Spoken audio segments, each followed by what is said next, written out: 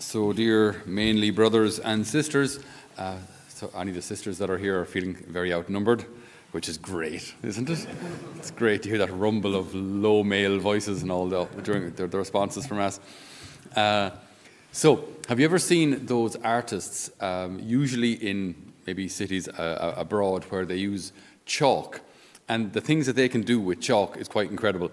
Where I've seen a couple do kind of 3D drawings on the pavement. So they make it look like the pavement is cracked and you can see into like another world on the far side of the, you know, there's, a, there's like a crack and then there's a bit of a cave and then on the far side you see La La Land or Wonderland or Disneyland or something, I don't know.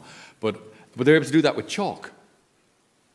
Have you ever tried to do something artistic with chalk? i have no idea how they do it. I have with a box of chalk, whatever, 10 colors of chalk, how they can make something that looks real, that looks like a hole that leads into another world, right? And like, what's tragic is they do these amazing works of art. Or maybe they combine kind of modern stuff and, and retro stuff where you have the kind of the uh, God touching Adam's finger and sparks coming out of it or something. And they make it look so real. But it's chalk, it's effectively dust. How long is it going to last? Until the next shower, which in Ireland means 15 minutes. right. So this, this, this, like, this capo lavoro, like this, this absolute masterpiece, will last maybe a day before it just gets walked over by tourists. And it's done with chalk, something that all of your kids play with or eat or uh, draw on each other, draw on the walls. It's done with chalk. But what's the, what's the difference? Like, what's the key element here? It's not just, it's not the chalk. it's not the chalk. It's the artist is the person who has the eye and the combination of colors and depth and shading and, and the vision to kind of put together the image in the first place. It's the, the artist who can do something amazing with something so incredibly ordinary. Chalk couldn't be more ordinary. It's colored dust, squished into a little cylinder. And yet they can, uh, the artist can do something absolutely fantastic. The saints of today are saints Peter, and Paul. And what's absolutely wonderful is that Scripture does not hold back at telling us how useless these two fellows were and how often they messed up. Like the, the gospel, especially when it comes to Peter, the gospels do not shy away from telling us how often Peter got it wrong. They should have. It really would have been a better idea, in my humble opinion, to leave out all the mistakes that Peter made. Surely, if he's going to be the first pope, you want to make him look good, no? You want to, it's, it's kind of like, you know, the leader of the party. If you're part of Fine Gael and, you know, the party leader, no matter what he says, has to be right. You know, you have to toe the party line, and whatever he says wrong, just blame Fianna Fáil. but whatever you do, you protect your party leader. Surely that's what the gospel writers should have done, the evangelists. No, they don't. They have no trouble pointing out when St. Peter got it wrong, and he got it wrong on a number of occasions. One of the most striking, or one of the most maybe beautiful for, for our reflection for, for this weekend, is after the miraculous catch of fish. During the day, which uh, the, the apostles, well, the fishermen at the time knew you don't, you don't fish during the day. Apparently, the fish come to closer to the surface at night, where when the bugs and mosquitoes and all those things are out, so they can just eat them. That's what they do, I guess. So basically, the fishermen in, in, Galilee knew that you fish, at, you fish at night. You fish at night. You don't fish during the day. So Jesus calls out to them, Have you caught anything? And he said, They say, Nothing. Nothing at all. He says, Cast out the nets. And you can imagine, it's like, as a fisherman, you're like, No, no. You don't fish during the day. Like someone telling you, plant a cabbage upside down. No. They don't grow that way. But Jesus asked for it, so okay. They cast out the nets, they're trying to haul them in, nearly sinks their boat, nearly sinks the other boat. They have to call in the other boat for help. And Peter drops to his knees and says, Leave me, Lord. I'm a sinful man. I can't be associated with these miracles and all of your obvious goodness and holiness like I, that's not, that's not me. And what's Jesus' reaction? Does he say, You're right, you're a bit of a bit of a mess? No. He says, From now on, I'll make you fishers of men. You're not perfect, but stick with me. I will make you a fisher of men. He's not saying, I'm sending you out on your own to be a fisher of men. I will make you a fisherman. We stay united with the Lord, and we can do incredible things. St. Paul will later write, I can do all things in Christ who strengthens me. I can do all things in Christ who strengthens me. This is like the key point, which for, for us men, I think we find, we find difficult. We find we try to resolve things ourselves. We try to be autonomous. We try to fix things. We like fixing things.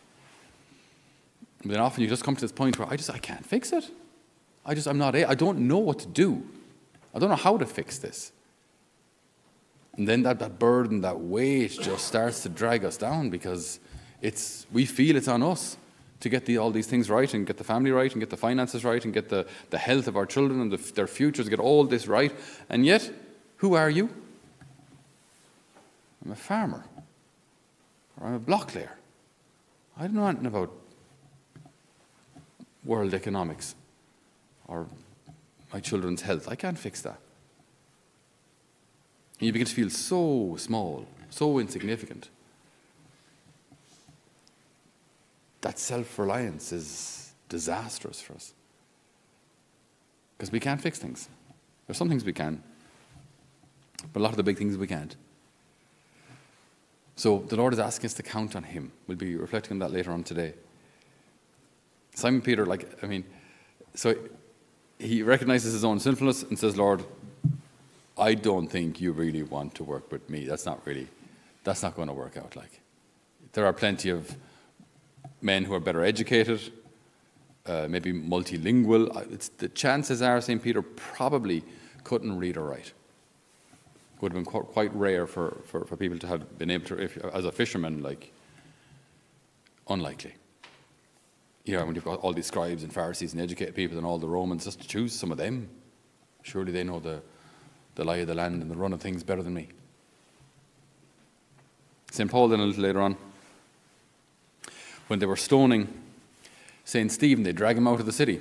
They stone him to death, and then they put their cloaks down at the feet of a young man named Saul, St. Paul, who entirely approved of the killing, approved of a killing, approved of a stoning to death of a man. There's Paul, happy out.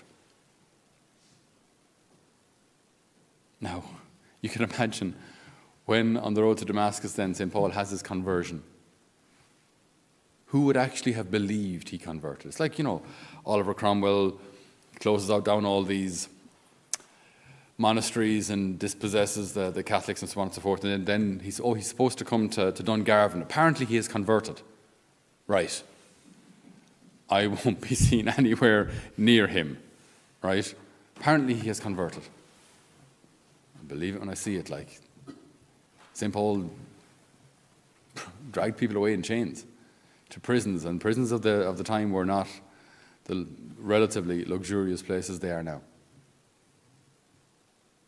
to St. Paul, has his conversion, goes to a city. No one wants anything to do with him, apart from a few Christians. Ananias then uh, heals his blindness, and off he goes to become one of the most influential characters in the church, in the history of the church.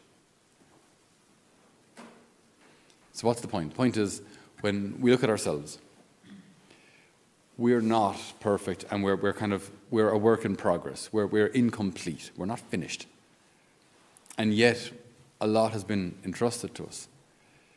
For those of you who are married, for those of you who, children, who have children, for those who are even just young men of faith in, in this world, a lot has been entrusted to you. And I think it's only a matter of time, if it hasn't happened already, that you're going to feel fairly unable or just maybe painfully aware of your own limitedness, your own inability. And often, as we'll be seeing this later on today, we hide that. We, we hide that. We hide those parts of us that are insecure. We hide those parts of us that don't know. We hide those parts of us that we don't want anyone to see, that make us look weak. And we present this facade of confidence and ability when behind it there can be all sorts of hurt. I think often in traditional Irish families, you know, you think back in the 50s, 60s, um, mass attendance would have been good, maybe even daily mass, daily rosary in the, in the home would have been good. But how did men deal with loss or with pain or with rejection or with the bullying of their childhood or with the absence of their father or the alcoholism of their father? How did men deal with these things? They didn't. Or they would just drink it down. And what were the consequences of that? Absolutely horrific. So we need a better solution. the solution isn't to look at the needs of our families and look at our own brokenness and say, This is impossible, I'm done. I'm just, I'm, I'm, I'm burying this, I'm, I'm, I'm drinking it all down because there's nothing can be done here. I can't fix this, I'm done. That's not a solution. It's not a solution that's going to work. It's not a solution that's going to bring any healing. How about we recognize the Lord's call, the Lord's grace, what the Lord has, has given, what the Lord has actually entrusted to us. But with that, keep in mind always, He never asked us to do it alone. He never asked us to do this on our own. That was never the goal, that was never the, the, the homework, if you will. He never asked us to do this alone. Come to me, all you who labor and are overburdened, and I will give you rest. I will be with you always, yes, till the end of time. Go make disciples of all nations. But I will be with you. This might be a new concept or a new departure for many of us. It's something, to be honest, that I became aware of a couple of years ago that I, I have to continuously renew and deepen myself reliance on God, not self reliance.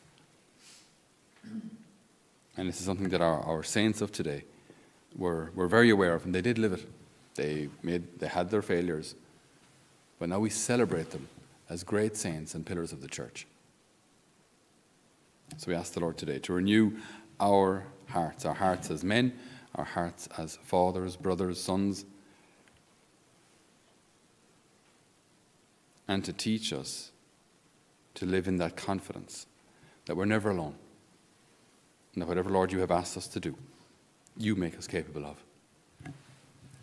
Amen.